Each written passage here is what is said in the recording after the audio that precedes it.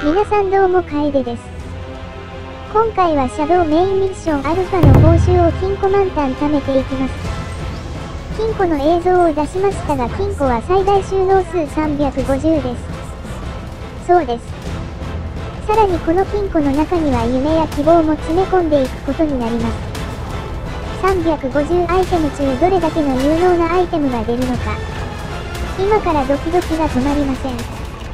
このシャドウメインミッションですが、ブリーディングしたギガノトサウルスがいれば、割と簡単に周回していけるミッションになっています。ギガノトサウルスのサドルの防御力が高いとさらに周回しやすくなります。ミッションクリアでヘキサゴンポイントも3万近くもらえるので、報酬次第ではお得なんじゃないかな。と思っているサバイバーさんもいらっしゃると思います。ですので、報酬の結果は重要になってくると思います。一つ前の動画でメロナサウルスアルファの報酬を金庫満タン分貯めるという動画も作りました。報酬の内容が異なりますので、良ければこちらの動画も見てみてください。ベロナサウルスかシャドウメインミッションのどちらかにきっと皆さんが探しているアイテムがあると思うので、ぜひ2つの動画をご覧になってください。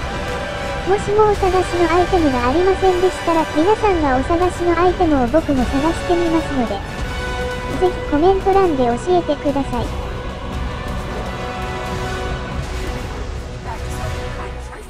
それでは金庫満タンになりましたので早速中身を確認していきます。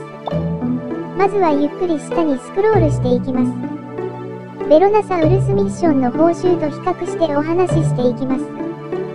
今回のミッションの報酬ですが、サドルの報酬が優秀でした。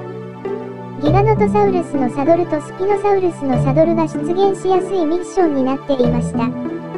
特にこの2体は人気もあり、優秀な相棒ですので、この2つのサドルが入手できるだけでも十分やる価値のあるミッションだと感じました。さらにテック系の武器やサドルも出現しました。テック系の武器は品質も攻撃力も低いものが多かったのが残念でした。それでは見やすいようにレアなサドルとテック系のものを違う金庫に移します。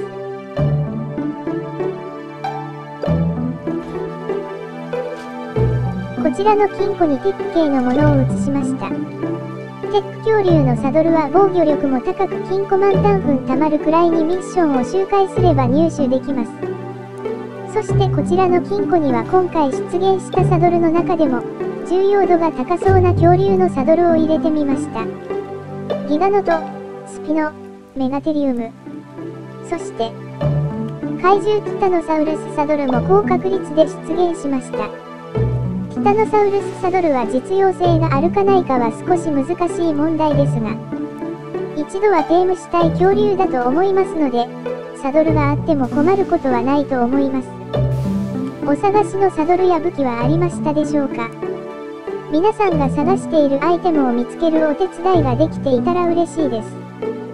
では今回の動画はここまでになります。ご視聴ありがとうございました。